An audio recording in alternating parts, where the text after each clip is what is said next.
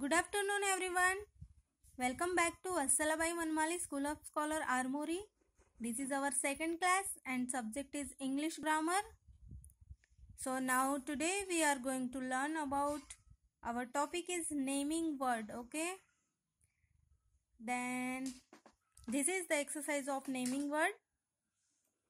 First exercise is completed. Now see question is fill in the blanks with suitable naming words.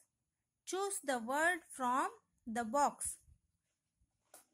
Children देखो यहाँ पर कुछ words दिए गए हैं।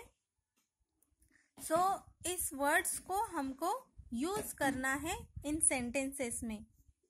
These are five sentences okay five six sentences right और इन सिक्स सेंटेंस में हमको ये वर्ड्स फिलअप करना है। With the help of this pictures okay so pictures देखेंगे उसमें क्या है वो समझ लेंगे और उसके बाद में वो सेंटेंस कंप्लीट करेंगे okay so now first sentence is the blank is jumping over the blank अब पिक्चर देखो क्या है? पिक्चर में सिचुएशन क्या है कि कैट इस दीवार पर से जंप कर रही है छलांग लगा रही है राइट तो यही हमको सेंटेंस बनाना है कि कैट दीवार पर से जंप कर रही है छलांग लगा रही है। सो so, यहाँ पर है वॉल और कैट तो देखते हैं इस बॉक्स में वॉल है क्या? यस yes, यहाँ पर वॉल है और ये है कैट तो इन दो वर्ड को यूज़ करके हमको ये सेंटेंस फिलअप करना है। जैसे मैंने किया है देखो the cat is jumping over the wall right cat wall के ऊपर से जंप कर रही है। दीवार कैट के ऊपर से जंप कर रही है क्या? नहीं। बल्कि कैट दीवार के ऊपर से जंप कर रही है। The cat is jumping over the wall right then second picture is squirrel क्या कर रही है? पेड़ पर चढ़ रही है। स्क्वायरल एंड ट्री यहाँ पर है words squirrel and tree right इन दो वर्ड का यूज़ करके हमको सेकेंड सेंटेंस कंप्लीट करना है। देखो the squirrel is climbing the tree climbing का मीनिंग होता है चढ़ना ओके okay? और ये जो स्क्वायरल है, ये ट्री पर चढ़ रही है। ना कि ट्री स्क्वायरल पर चढ़ रहा है राइट तो sentence correct sentence is the squirrel is climbing the tree right sentence okay then third picture is rainbow rainbow में कितने कलर्स होते हैं?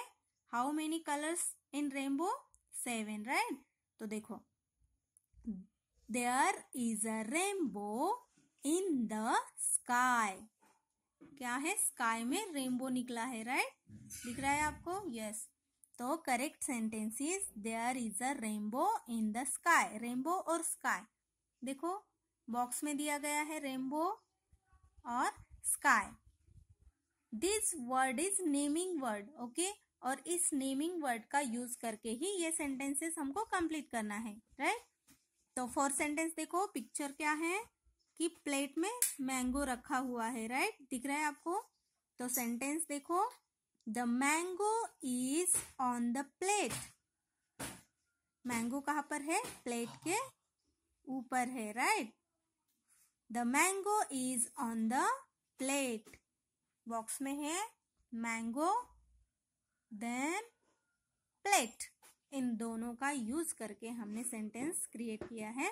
The mango is on the plate plate mango के ऊपर नहीं है. मैंगो प्लेट के ऊपर रखी है right then fourth picture is girl right this is girl the girl has long hair picture देखो कि ये जो गर्ल है और इसके हेयर जो है वो लॉन्ग है राइट तो बॉक्स में हमको दिया है गर्ल गर्ल दी है गर्ल राइट देन हेयर अब इन दो नेमिंग वर्ड का यूज़ हमको इस सेंटेंस में करना है right the girl has long hair इस गर्ल के जो हेयर है, वो कैसे है? लॉन्ग है right then six sentence is picture देखो, ये जो वुमेन है, वो फ़ोन पर बात कर रही है राइट तो सेंटेंस कैसे बनेगा?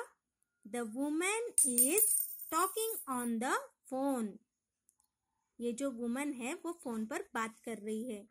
तो द वुमेन ये क्या होगा? नेम ऑफ़ पर्सन और द फ़ोन फ़ोन क्या है? The name of things right तो correct sentence is you have to write here the women is talking on the plate okay the women is talking on the phone so children I hope you can understand this sentences तो आप अपने book में ये सारा exercise complete कीजिए। समझने की कोशिश कीजिए। नेमिंग वर्ड्स बिल्कुल इजी है। पिक्चर्स की हेल्प लो और सेंटेंसेस कंप्लीट कीजिए ओके बाकी मैंने बता तो दिया है। आप अपने नोटबुक में अच्छी तरह से लिख लीजिए ओके मिलते हैं नेक्स्ट वीडियो में। Take care and bye